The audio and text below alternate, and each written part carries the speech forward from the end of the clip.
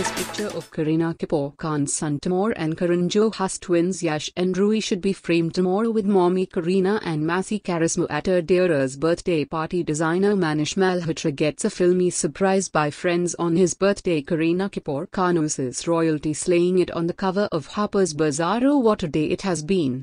We have been going crazy getting details of Virat Kohli and Anushka Sharma's wedding just for you.